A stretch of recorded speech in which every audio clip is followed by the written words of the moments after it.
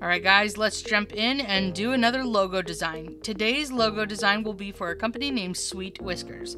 They have a blog section on their website that needs an updated logo. Their blog is called Catastic Chronicles, which, yes, I know I misspelled it here. I'll go back and fix that in a minute. But uh, they wanted a swirled circular design for this, kind of just playing around with the circles, more or less, is what you guys seeing here. Uh, their colors are a green and brown in the palette. So we're going to take our swirls and make sure that they are symmetrical. They wanted some balance inside of this logo, which is always more visually pleasing to the eye.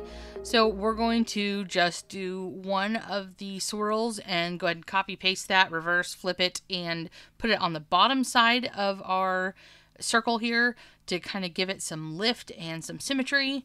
And then I've got to change this text. I did not like the vibe that's going on with this, so I'm going to hunt for a good text. And I'm probably just going to go back to one of my tan texts, which is a fantastic one. And I'm going to go ahead and use their colors in the color palette for this font as well to just kind of tie things cohesively together.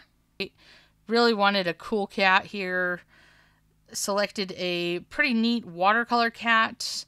Really kind of want to mess with. Uh, first, I'm going to fix the spelling here, uh, but then I want to mess with the spacing of the letters. So so so often people just slap down that text and just take it that spacing for what it is, but we really want to work with the spacing that we have here and make it really look good.